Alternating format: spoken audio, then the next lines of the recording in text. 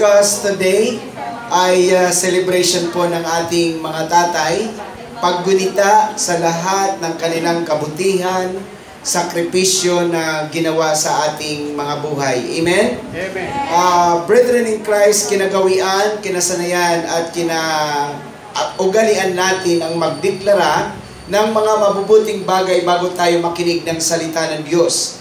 Because we are the prophet of our own life, kaya whatever we declare, anuman ang ating mga sinasalita, yun po ang nangyayari at nagmamanifest sa buhay po natin. Amen? Amen. Okay, with faith, with boldness and confidence, sabi nga po natin, thank God I am prosperous. Thank God.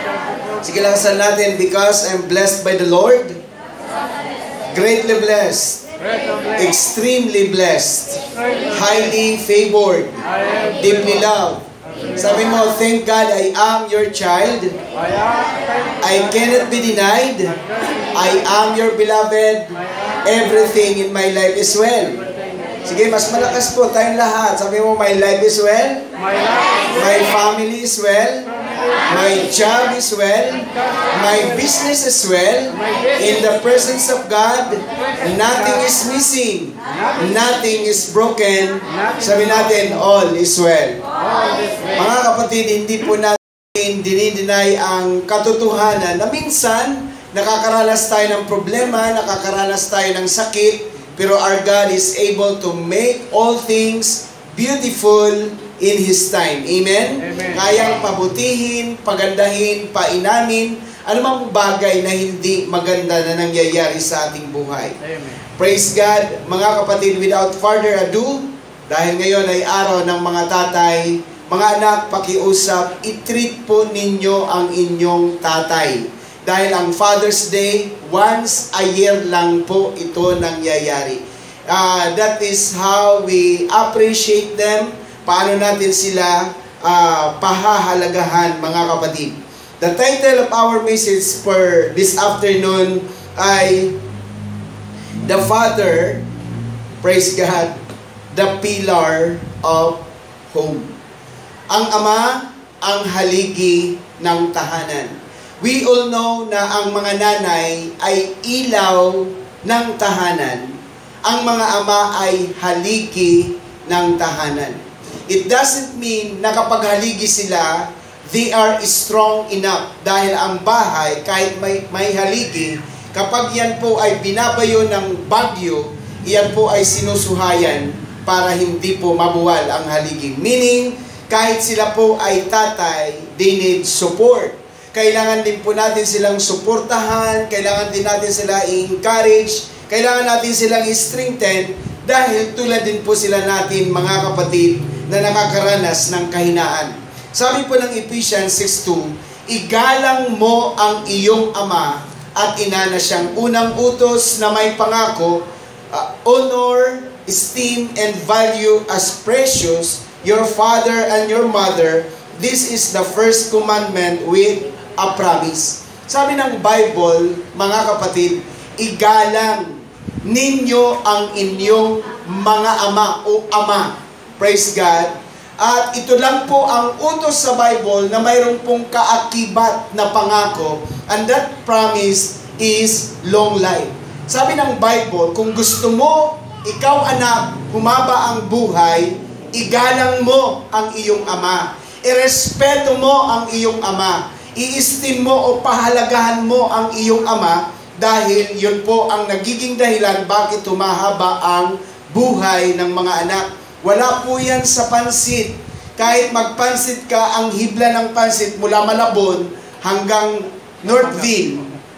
Kung ikaw ay anak na tampalasan, walang respeto, anak na bastos, your life will not be prolonged. Kailangan ang sekreto ng nagpapahaba ng buhay is how you respect and honor your father. Tanungin mo nga ang katabi mo, iginagalang mo ba ang iyong ama? Praise God. Hallelujah. Pagpatuloy natin, Proverbs 1.8, sabi po dito, Anak ko, dinggin mo ang turo ng iyong ama. My son, hear the instruction of your father.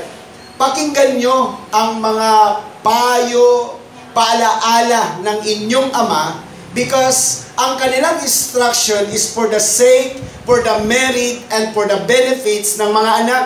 Wala po silang sasabihin, mga kapatid, na hindi po mapapakinabangan ng anak. At sabi ko nga, ang mga nanay, praise God, marami silang sinasabi, ang tatay minsan lang magsalita, pero importante. Sabi mo sa katabi mo, listen up. Listen up. Praise God. At dagdag po natin sa Proverbs 1, uh, 10.1, ang pantas na anak. Palitan natin ang pantas. Kasi sa Hebrew, maraming kahulugan. Ang pantas, ang mabait, ang masunurin na anak ay nakapagpapasaya sa ama. A wise son makes a glad father. There is only one thing that makes your father happy. At ang yan ay ang kabat kabaitan ng mga anak. Tanungin mo nga uling katabi mo, mabait ka bang anak? Mabait ka ba anak? Praise God. O ulitin ko, isa lang bagay ang nagpapasaya sa ating mga ama, ang kabutihan at kabaitan ng anak. Kasi ang sabi ng Bible, a wise son, ibig sabihin, edukado, tinuruan, um, lumaki ng mabuti, sila ang kasiyahan ng kanilang ama. At sa kabilang dako, sabi naman ng Proverbs 19.13, ang mangmang na anak ay kapanglawan ng kaniyang ama. A self-confident and foolish son is the multiplied calamity of his father. Matindi ang am- amplified.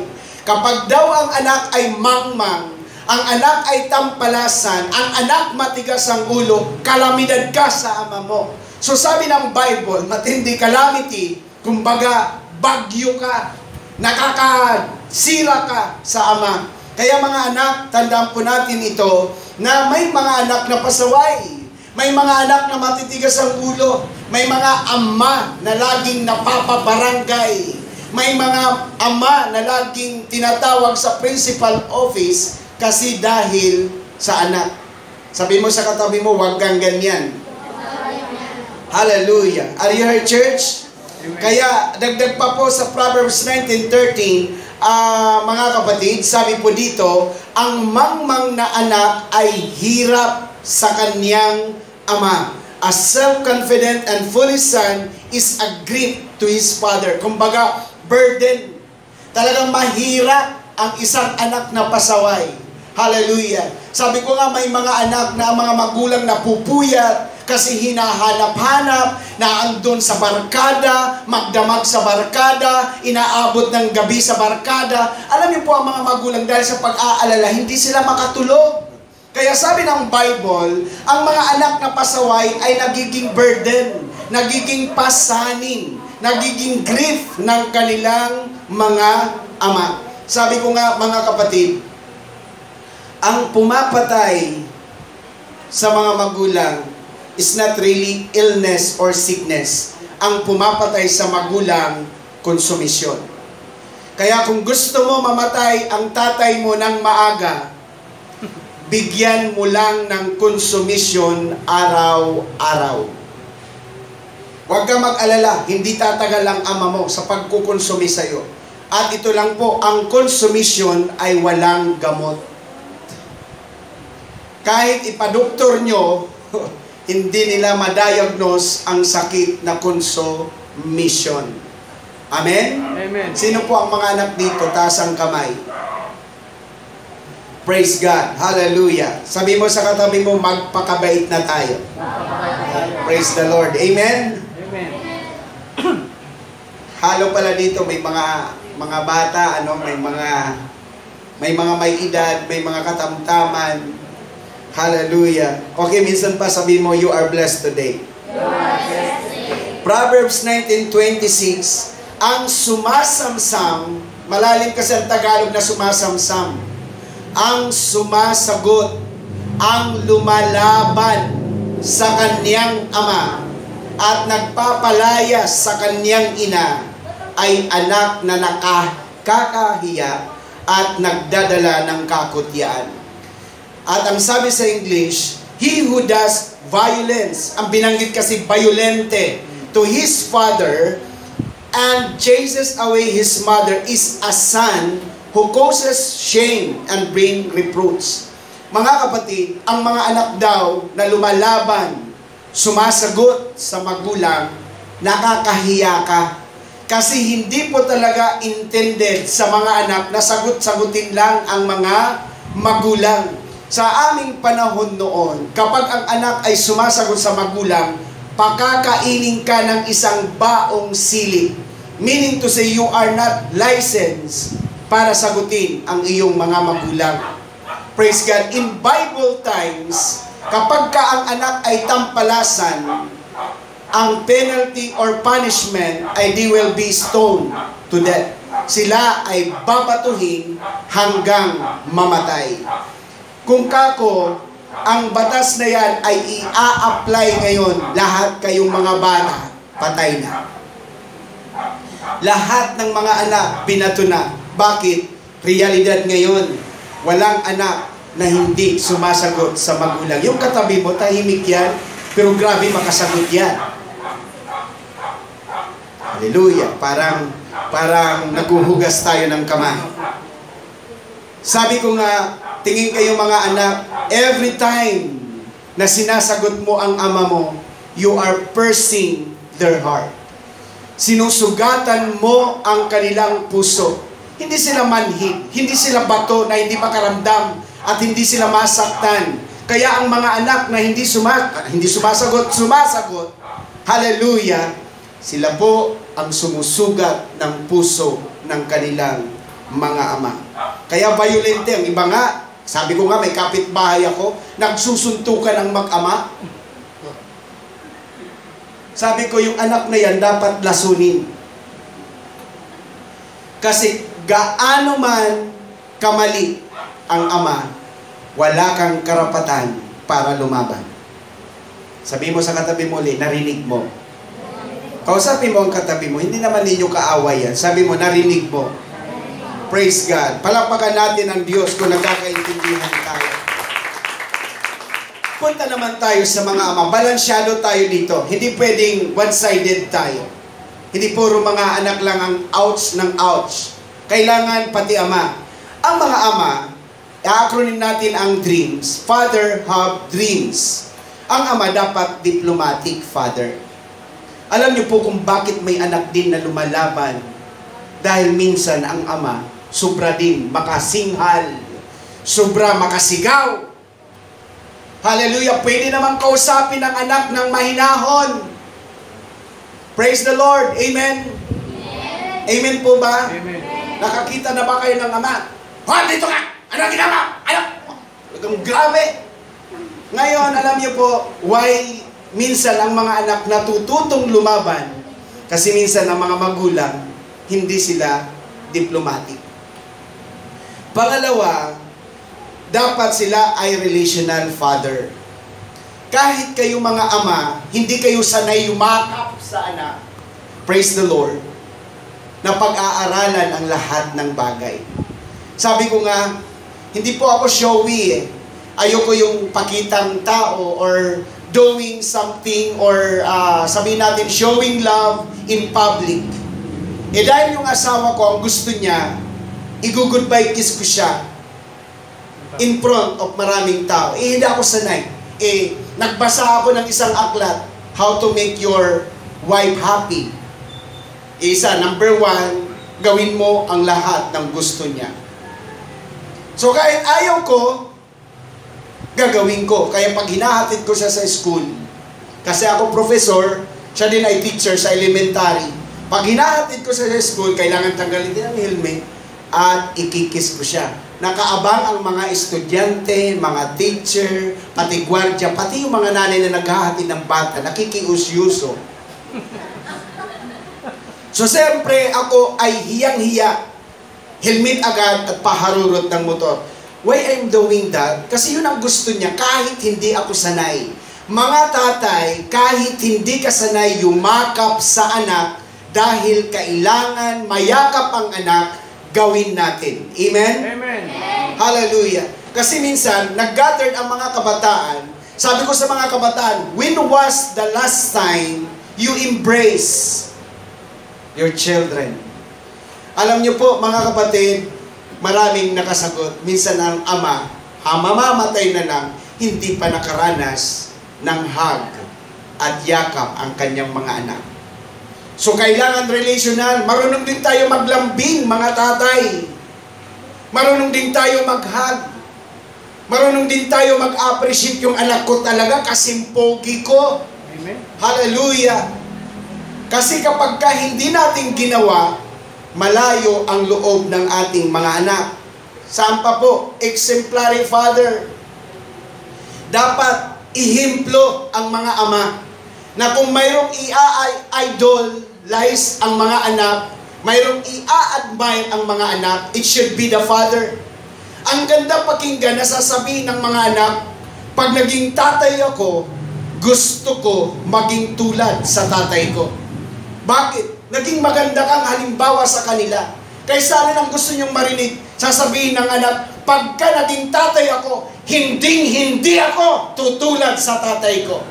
Bakit? Because at nakita nila ang sample ng iyong pamumuhay. Kaya again, kung mayroong i-admire ang mga anak, it should be the father. Because we are good example to them. And then, accountable dapat ang father. Meaning responsible.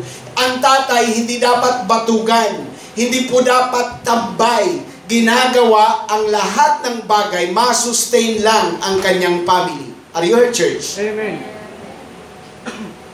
Hallelujah. May tao pa kaya akong kausap? Amen. Hallelujah. Dapat ang mga tatay, sa mga kabataan, pag maging tatay kayo, dapat kayo ang nagsusustain. Alam niyo po, pride ng mga lalaki na ang asawa hindi pinagtratrabaho. Dahil kaya niyang itaguyod mag-isa. Parang tahimik ulit. Pero may mga panahon na ang babae ang nagtratrabaho, ang tatay tambay. Wala silang narinig.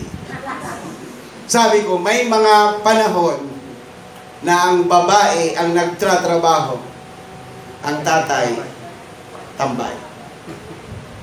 Yung asawa ko ayaw ko papagtrabahuin, matigas lang ang ulo. O di sige, magtrabaho siya, pero yung sweldo niya, kanya lang yun. Pag nag-sweldo siya, shopping dito, shopping doon. Bakit? Kaya ko naman i-sustain ang aking family with my own salary. Amen? Amen. O sabi mo nga ulit sa katabi mo, accountable. Accountable. Then, meaningful father. Dapat ang isang ama, bawat oras, bawat araw, i-treasure ng mga anak. Meaningful. Maraming magagandang alaala. Hindi yung malaala ng anak, nalaala ko, binugbog ako ni Papa. Nalaala ko, sinipa ko ni Papa. Eh, hindi yun. Hindi yun meaningful na alaala. Dapat ang maaalaala nila yung mga oras at araw na masaya kayo. Amen? Amen. Hallelujah. Dapat ang mga tatay meaningful. Sabi ko nga, gr- grab every opportunity. Pagkasama mo ang iyong anak, gawin mo mapasaya sila. Amen. Kasi yun ang tatatak sa kanila. Amen? Amen. Hallelujah. And then, pinaka last, strong father. Wala tayong karapatan magpahina-hina. Mga tatay tayo, mga haligi tayo. Wala tayong karapatan. Sabi mo sa tatay na katabi mo, agyumiyan. Sige po, kausapin mo. Parang mga isnabiro tayo dito. Sabi mo sa tatay na katabi mo, agyumiyan. Amen? Wala pong susuko na tatay. Kahit may mga pagsubok, kahit may mga problema, don't give up. Wala tayong karapatan na sumuko. Amen? Amen. Sabi mo, I like that. I like that. Mga kapatid, i-acronym natin ang pillar, but before that, they may not showy fathers, but they are silent keepers. Ang mga tatay, hindi sila showy. Pero, deep inside, mahal ka nila. Amen. Ulitin ko.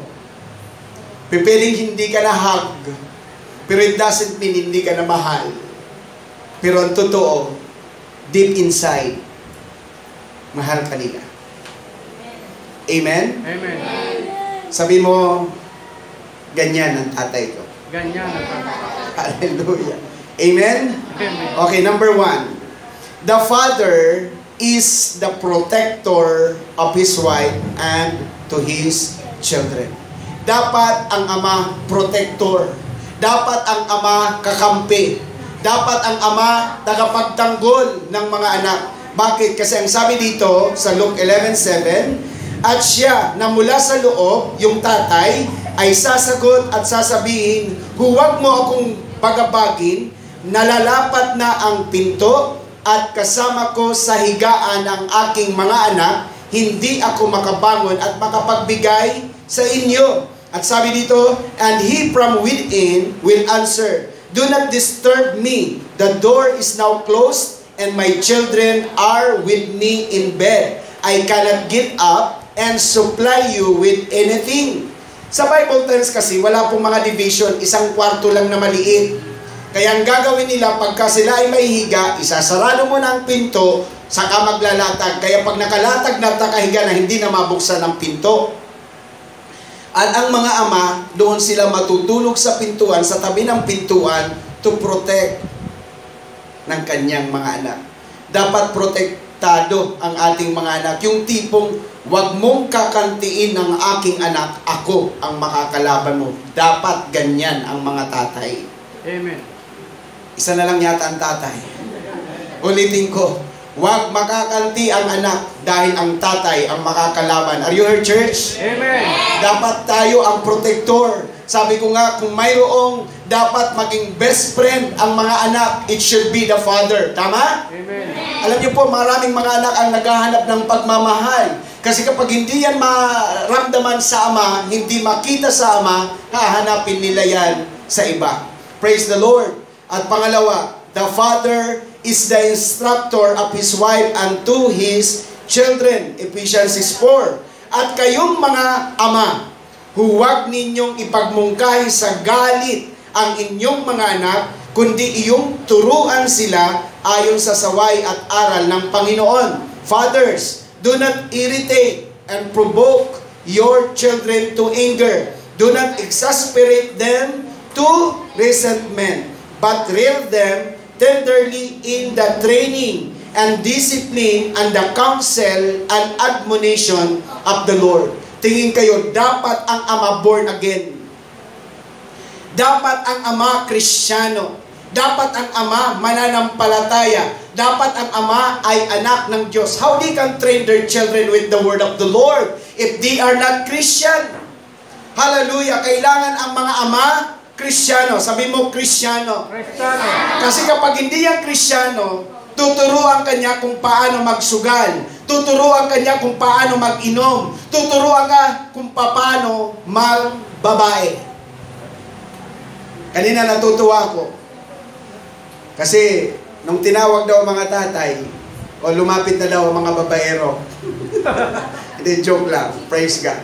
So, maganda ang iyong ama, Krisyano. Sabi mo nga, Krisyano. Kristiyano. Kasi kapag Krisyano, naniniwala ako, they will instruct you with the word of the Lord. Amen? Amen. Hallelujah. Pangatlo, the father is the lover of his wife and to his children. Dapat, kung may mapagmahal, dapat ama. Sabi mo nga, ama. Ama. Praise God. Basa tayo. Ephesians 5.25, mga lalaki, yung lalaki dyan refers sa father. Palitan natin ang lalaki, mga ama, ibigin ninyo ang inyo, inyong asawa, gaya naman ni Kristo na umibig sa iglesia at ibinigay ang kanyang sarili dahil sa kaniya. Husbands, love your wives as Christ loved the church and gave himself up for her. So mga kapatid, given kung ang asawang babae minamahal ng lalaki, of course, given na kasama ang mga anak, mahalin. Kaya sabi ko nga, payo ko sa mga, may mga manugang. Mga manugang, pag pinakasalan mo ang iyong asawa, kasama mong pinakasalan ang magulang niyan. Are you here, church? Amen. Hallelujah. Ulitin ko, pag pinakasalan mo ang iyong asawa ngayon, kasama mong pinakasalan ang pamilya. At isa lang ang napag-aralan ko, never, never say anything ng negative sa pamilya ng asawa mo. Mag-aaway kayo. Are you here, church? At same thing, ganun din, mga lalaki, huwag kayong magsasalita ng negatibo sa side ng mga babae dahil mag-aaway kayo. Kaya mga kapatid, tandaan po natin, ang mga, ang mga, tawag nito natin, mga kapatid, ang mga husband ay dapat nagmamahal sa kanilang mga anak at asawa. Are you here, church? Amen. Sabi ko nga kanina, kapag ka ang ama ay pabaya sa kanyang mga anak, huwag kang mag-alala, tatanda ka rin. Magkakasakit ka, pababayaan ka ng iyong mga anak. Because what you sow is what you reap. Amen? Pero sa good side, kapag ikaw ay mapagkalinga na ama sa mga anak, caring sa mga anak, pag tumanda ka at magkasakit ka, may magkakalinga sa iyo at may mag-aalaga sa iyo. Bakit, mga kapatid? Because yun ang ginawa mo sa iyong mga anak. Are you here, church? Amen. Praise the Lord. Palapakan natin ang Panginoon. Number four, mga kapatid, the father is the leader of his wife and to his children. Sabi ng 1 Timothy 3, 4 and 5, namamahalang mabuti ng kanyang sariling sambahayan na sinusupil ang kanyang mga anak na may buong kahusayan, ngunit kung ang sino man nga ay hindi marunong mamahala sa kanyang sariling sambahayan, paanong makapamamahala sa iglesia ng Diyos? He must rule his own household well, keeping his children under control with the dignity, commanding their respect in every way, and keeping them respectful. For if a man does not know how to rule his own household, how is he to take care of the church of God? Dapat kung may namamahala sa ating pamilya, hindi nanay, it should be the father ang ama lang o ang ina lang ay magiging katuwang lang ng tatay sa pamamahala ng sambahayan. Are you here, church? Sabi ko nga, ang pagdidisiplina sa ama yan, tutulong lang. Kaya lang, sabi ko nga, sa pagdidisiplina, dapat magkatandem ang mag-asawa. Pag pinalo ang iyong anak na maliit, tatakbo sa ina, huwag mong kampihan. Ang sasabihin mo sa anak, anak, alam mo ba kung bakit ka pinalo ng daddy mo? Explain to them kung bakit sila pinalo.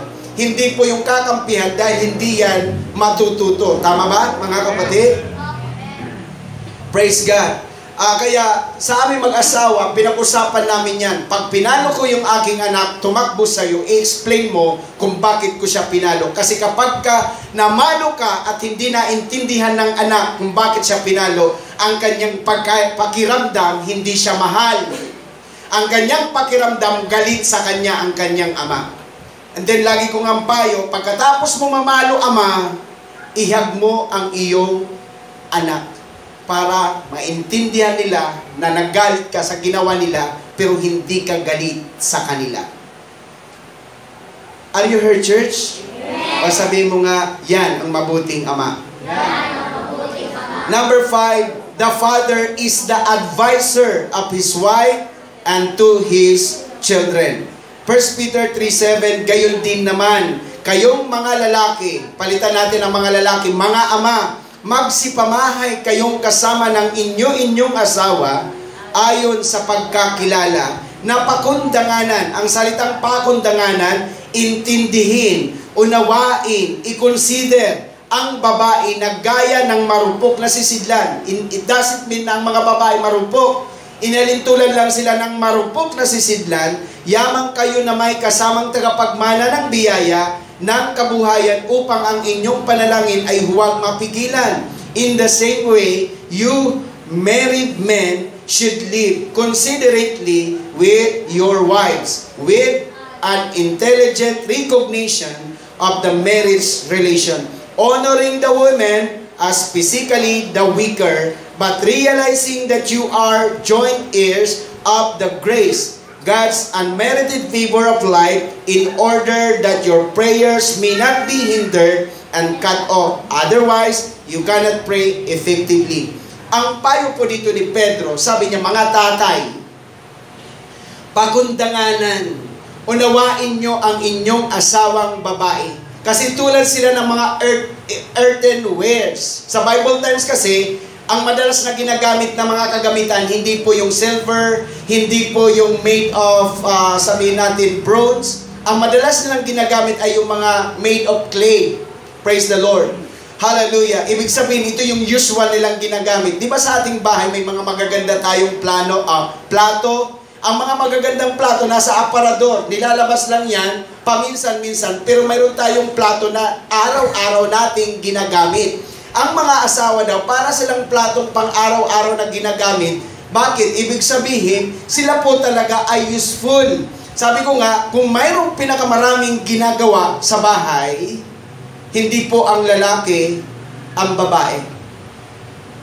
Kasi ang lalaki, kung construction lang ang trabaho niyan, magkukonstruction siya maghapon, pag uwi, wala ng construction. Ang nanay, magluluto, maglilinis ng bahay, maglalaba, mag-aalaga ng anak. Kaya minsan nga, dum- buma- dumarating na yung asawa, hindi pa nakaligo dahil hindi pa matapos-tapos ang kanyang trabaho.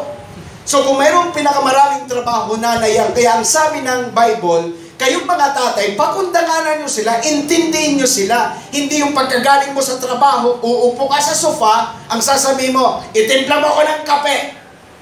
Buksan mo yung TV, manonood ako. Buksan mo ang electric fan, itutok mo sa akin. Kung ako yun, ako. Kutsilyo, itututok ko sa'yo. Bakit mga kapatid? Pagod yan. Hindi lang ikaw ang pagod. Feeling mo boss ka. Feeling mo hari ka. Na ganun ka na magpasilbi. Tama? Pero wala akong kausap talaga. May ganyang tatay. Sabi ko nga, may tatay na sundalo na born again. Pare sa born again. Kawawa yung kanyang asawa. Lagi naghahabol ng oras. Pupunta ng church. Sasabihin ng kanyang asawang sundalo, in five minutes, fix yourself. Maliligo? Five minutes? Eh, ang babae, ang lalaki, pag nakaligo yan, nakapag-bis yan, sasakay agad yan sa kotse. Busina ng busina. Eh, ang babae, namin pang intindihin. Titingnan ng ilaw kung sarado lahat, kung ang gripo sarado, kung... Di ba ganun ang babae, namin iniintindi bago yan makalabas? Tapos busina ng busina itong buwisit na. Praise the Lord. Asawa. Ulitin ko, mga asawa, mga tatay, pakundanganan nyo, ang mga babae, marami talaga silang ginagawa. Amen. Amen? May tao pa kaya? Kaya huwag tayong busi-busi pagdating patimpla ka pa ng kape. Tapos mayroong pang kasunod, Bilisan mo! Hallelujah! Hindi nila alam na pagod na maghapon. Are you in church? Amen. So ang mga babae, di kiusap sa mga asawang lalaki yung tatay, pakundanganan natin sila. Amen? Amen. Sabi ko nga, kapag nalatnan mo ang asawa mo nakasimangot, pagod yan. Ang gawin mo, ihag mo at ikis mo. Ang ganda-ganda mo naman, mahal. Tingnan mo mamaya, ngingiti na, naiibsan ang kanilang pagod. Wala akong kausap talaga, parang ayaw ng mga tatay. Praise God. Naalala ko ang isang mag-asawa. Sabi naman ng kanyang asawa, Mahal mo pa baga ako? Sabi naman ng kanyang asawa, Bakit? Kasi huli mong sinabi yung salitang I love you nung ikinasal tayo. Mula noon, hindi ko na narinig uli ang sabi ng kanyang asawa. Pamira ka, sampu ng ating anak, I love you, I love you pa. Eh mga kapatid, kahit sampu ang iyong anak, dapat pinaparamdam mo pa rin na mahal mo sila. Amen. Hindi sukatan yung maraming anak na mahal mo sila. Dapat iparamdam pa rin ang pagmamahal. Sabi ko nga sa mga asawang lalaki, i-date nyo pa rin yung asawa ninyo. Bigyan nyo pa rin ng roses. Bigyan nyo pa rin ng chocolate. Hanggang maubos ang ipin. Kasi pag ubos ang ipin niyan, isa lang ang postisyon nyo kasi may nakita ko, 97 years old silang mag-asawa, successful. Hindi sila nag-away, hindi sila naghiwalay. Inobserbahan. Nang pumunta sila sa Jollibee, inobserbahan. Sabi ng lalaki, isang burger, isang french fries, a french fries. Isa lahat. Sabi niya, dalawa sila, bakit isa? Ito na, nang kumakain sila, aba malambing ang lalaki. Hinati ang burger. Half for you, half for me. So ang french fries, sinusubuan niyang babae. One for you, one for me. One for you, one for me. O ba talagang sweet? Talagang hindi maghiwalay. Maya-maya nang matapos kumain ang babae, iniluluwan ng babae ang pustiso dahil lalaki na naman ang kakain. dahil sa isang pustiso, naging matatag ang pagsasama ng mag-asawa. Kaya pala, una mo nang pinapakain ang babae kasi isa lang ang pustiso. Parang hindi yata nakarelate ng kwenta. Are you here, church? Yung pala ang sekreto ng matatag na mag-asawa, dapat isa lang ang inyong pustiso. Amen. Hiraman. Hallelujah. Pakayaring mangan. Ako naman. Praise the Lord. Tingnan mo, tatatag ang inyong relasyon. Kaya para matanggalan ng ngipin yan, bigyan mo lagi ng chocolate. Pag, dahil pag walang ngipin, mapipilitan kayo magpustiso. Pag may pustiso kayo, isa lang na pustiso para maging maigting ang pagsasama. Amen? Amen. Palakpakan natin si Lord. Okay, and then number six, the father is responsible of his wife and to his children.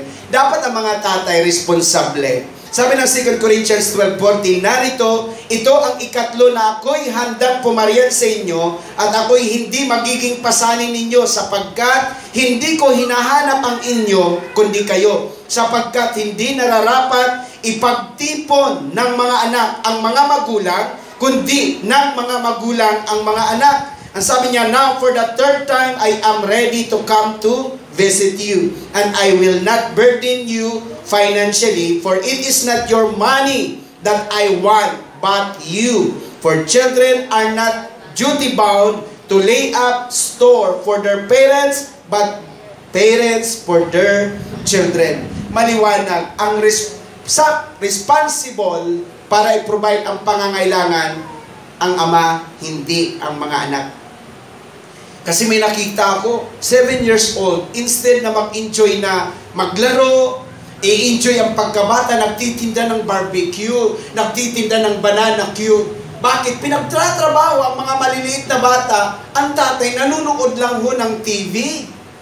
Praise the Lord. Again, ang sabi ng Bible, hindi dapat ang mga anak ang nagtitipon para sa mga magulang. Ang mga magulang dapat ang nagtitipon sa mga anak. Mga tatay, listen carefully. Hindi lamang po natin responsable ang mapakain ang ating mga anak three times a day. Our primary responsibility ay mapagtapos ang ating mga anak.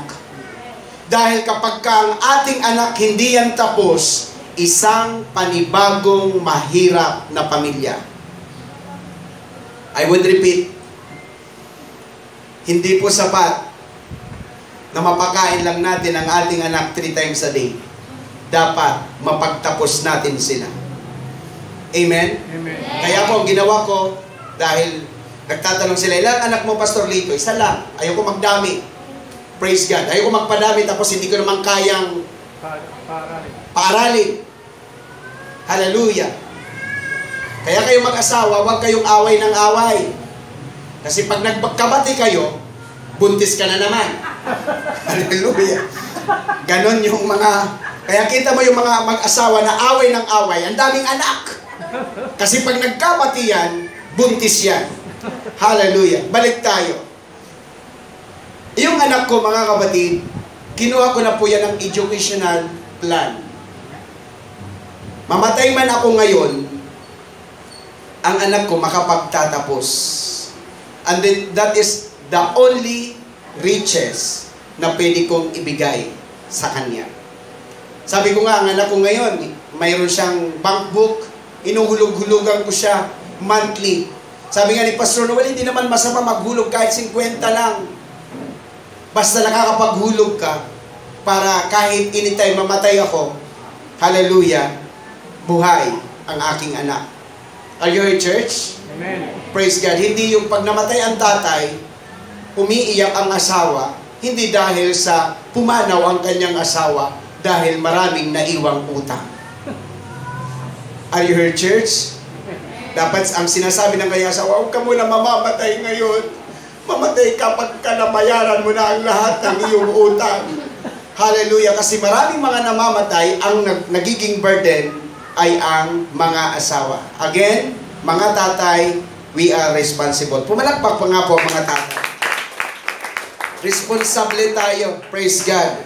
Sabi ko nga, alam niyo po, tingin kayo sa ibang bansa, hanggang dalawa lang ang anak, maximum, pag lumampas ng pangatlo, pang-apat, ikukulong ka. Kung gagawin ang batas na yan sa Pilipinas, ang tatay mo matagal na nakakulong. Praise the Lord. Kasi maraming mga anak. Mga kapatid, sama po natin.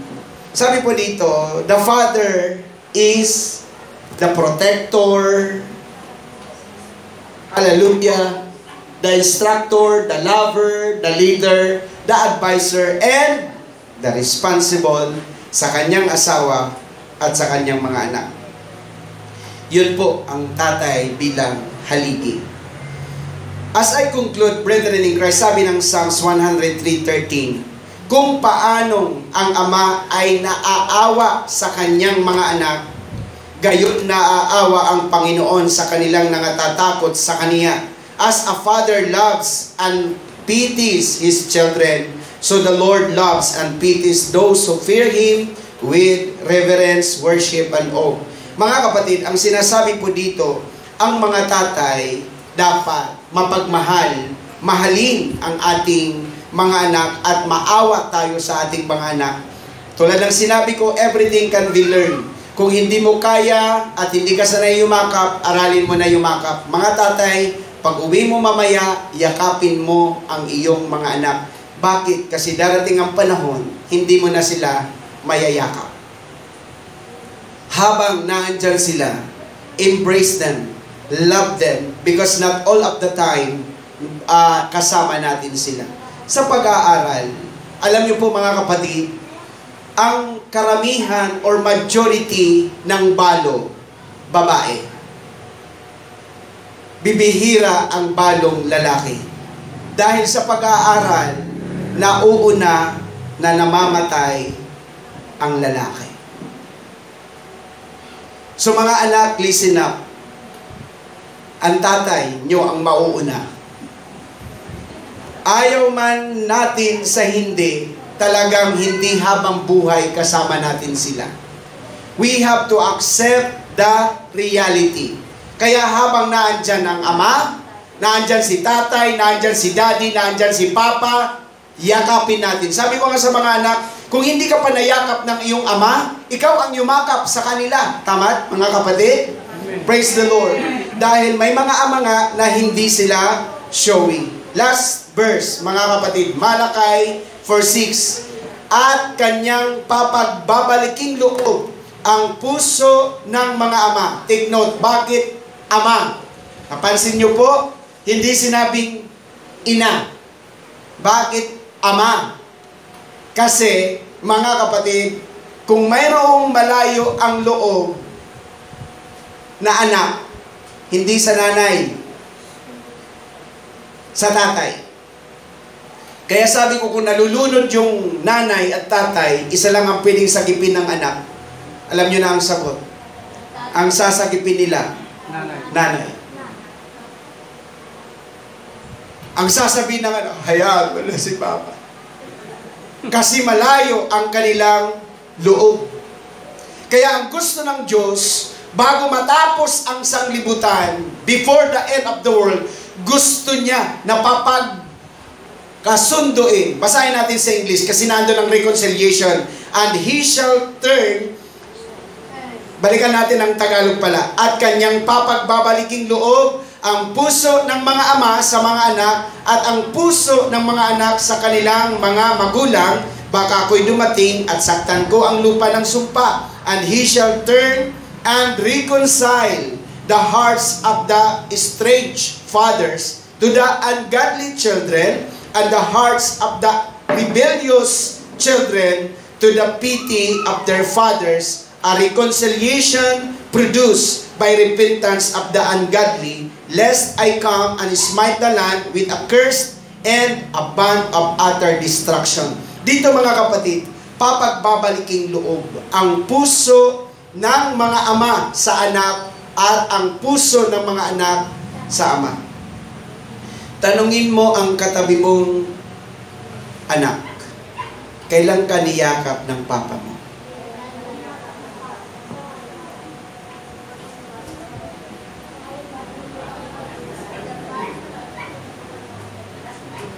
Mga tatay,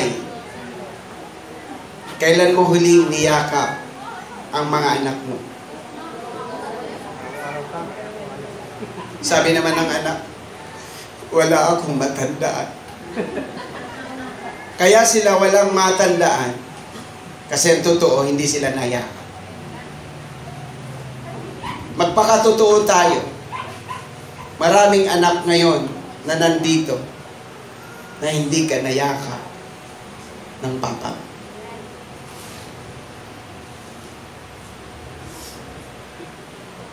There are children here na hindi sila nayakap ng kanilang ama.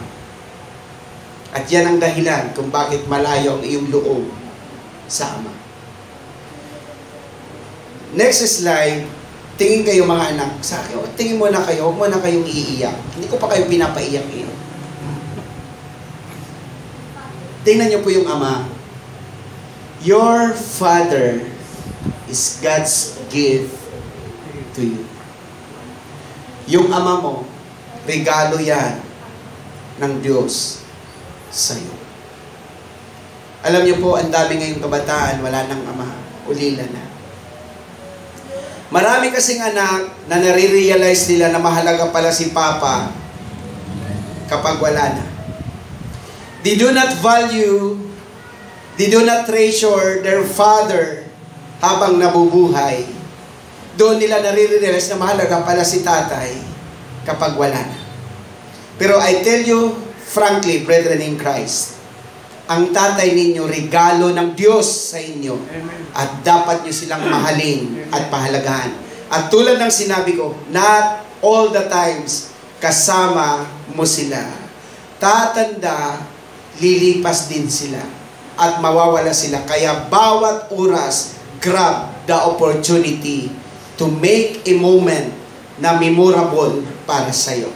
Kung hindi ka nayakap ng papa mo, pag uwi mo mamaya yakapin mo. At kung ikaw ay tatay, pag uwi mo mamaya ihag mo ang iyong mga anak. Siguro sasabihin nila dahil hindi sila sanay na niyayakap mo, ano nakain mo pa?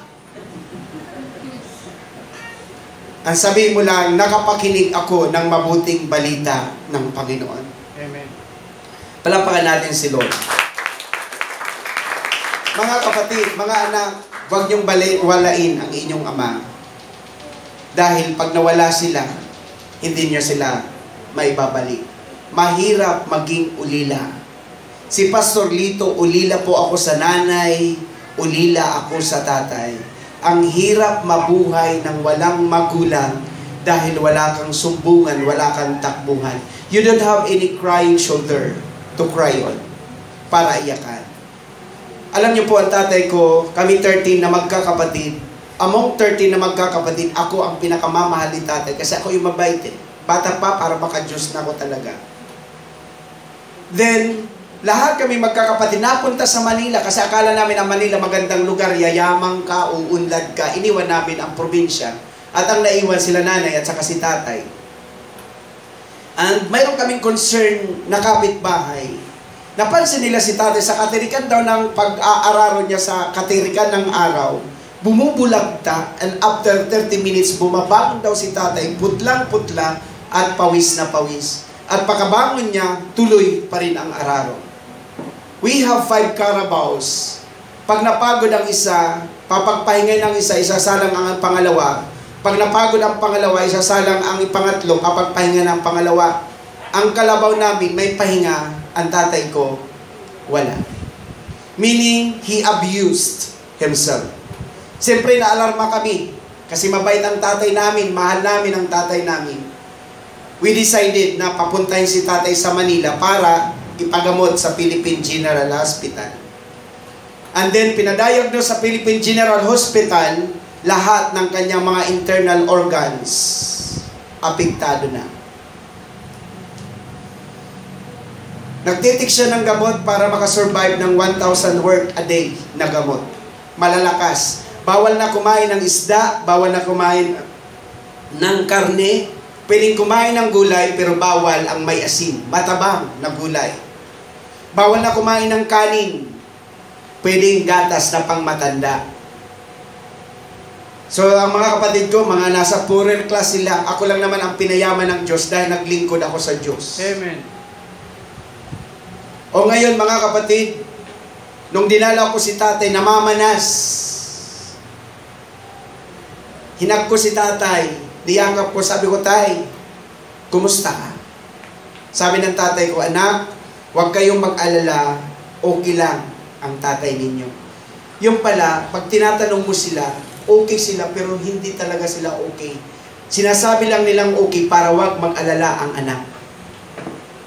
Day on that night, sabi ko, Tay, I have to go back to Pampanga dahil marami akong cell group, marami akong ginagawa. Sabi ng tatay ko, anak, pwede bang kahit isang gabi lang, dito ka matulog. Pinagbigyan ko si tatay, magkatabi kami. Madaling araw, yakap-yakap ako ni tatay. Gising ako, pero kunwari tulog kasi naiiyak ako, laki-laki ko na, yakap-yakap ako ni tatay. And then paggising namin, after na mag-coffee, sabi ko kay tatay, now tay, napagbigyan na kita, pwede na ako bumalik sa Pampanga. Sabi ng tatay ko, anak, balik ka kakaagad. Pagbaba ko sa bahay, nabol ako ng ate ko, to, ito ang mga resita ni tatay, hindi namin nabibili, kaya pumapalya sa gamot. Ito, bilhin mo yung gatas. At saka si tatay, pagdating niyan dito, nakachinelas, butas pa ang chinelas niyan. Puro dagtang damit niyan, kasi maraming saging sa amin eh. Kaya bilhan mo ng sapatos, bilhan mo ng pantalon, bilhan mo ng damit. Ito ang mga resita, bilhan mo ng gamot. At ito na mga kapatid, pioneering ako dito sa Pampanga. I only received 300 pesos sa church. How I can survive my father. 1,000 worth na medicine a day. Ang ginawa ko, naglalabandiro ko. Tatlo ang pinaglalabahan ko. Minsan ang kamay ko sugat-sugat, paano lang ang pinaglalaba ko pag hindi nakakita, hindi nanonood ang amo ko. Then, hindi ako nakabalik agad. After two weeks, doon ako nakapag-raise ng medyo malaking pera para mabili ko ang gamot tatay. Bumili ako ng magandang sapatos, magandang pantalon, magandang polo. Binilang ko siya ng dalawang latang malalaking gatas. At binili ko ang kanyang gamot. At ito na, I am so much excited to see my father again. Nung nasa Makati na ako, malapit na ako sa bahay ng aking ate, nakita ko sa bahay, ang daming tao. Kinabahan ako. Sabi ko, I ignore. Sabi ko siguro may birthday, kaya maraming tao.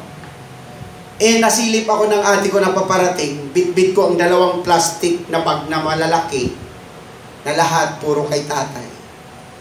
At lumapit si ate, napatakbo akong niyakap.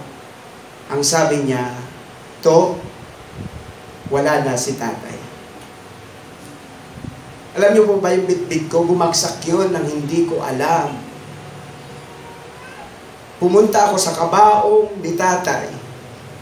Ang sabi ko kay tatay, tay, nandito na po yung gatas. Sabi ko, tay, dito na po yung gamot ninyo. Sabi ko, tay, nandito na po yung damit. Hindi niya na na-take yung gamot. Hindi niya na nainom yung gatas. Meaning to say, in last two minutes, hindi ko nakasama si tatay. Na habang umiyak ako doon sa kaba, sa tabi ng kabao, napansin ko yung suot ni tatay, polo ng pang-estudyante. Kasi wala silang makitang magandang polo. Sabi ko kay tat sa kapatid ko, Te, bakit bihisan si tatay? Hindi na daw kasi 3 days na siya palang nakaburon.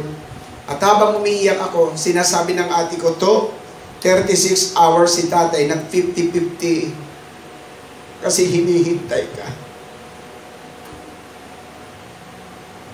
That is my regret dahil kaya hindi ako nakabalik dahil naghanap ako ng pera. para kay tatay. Pero lahat wala. Yung tatay niyo kung buhay pa, i-treasure niyo sila because not all of the time kasama niyo sila. Pwede ba tayong tumayo lahat? Pwede ba natin tawagin yung ating mga tatay to come in front sa ating palpit? Hoping na naandyan ang mga anak ng mga tatay natin.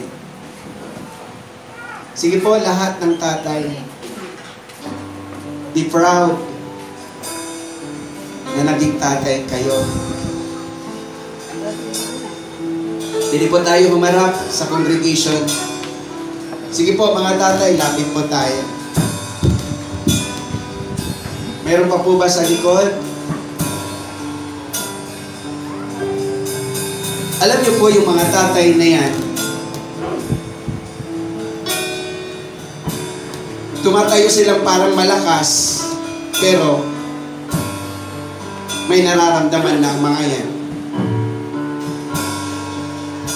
Hindi sila nagsasabi para wag kayong mag-alala. Kaya, again, grab the opportunity. Kung naandyan po ang mga anak ng mga tatay na nasa harap, pwede niyong lapitan as we sing this song. Yakapin natin sila, sabi mo, tatay, salamat.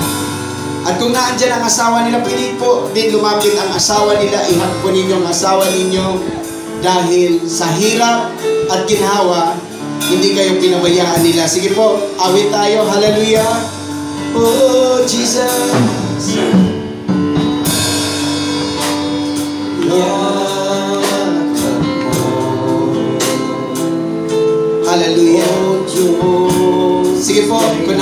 Asawa, mga anak, lapitan po natin. Yakapin natin sila. Yakap mo.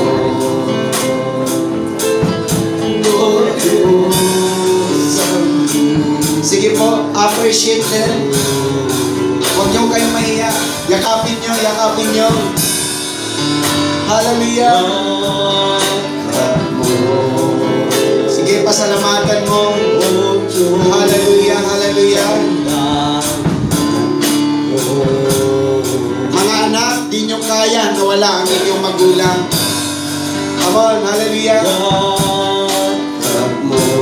Mayroon pa po ba dyan, mga anak? Come on, sige po, lapitan natin sila. Hallelujah.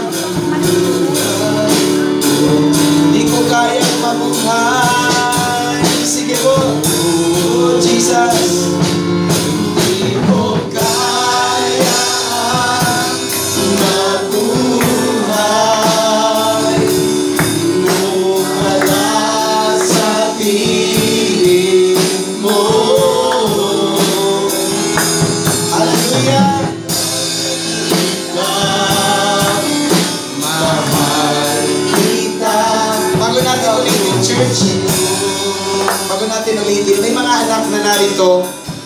Ko, naalaala mo si tatay mo.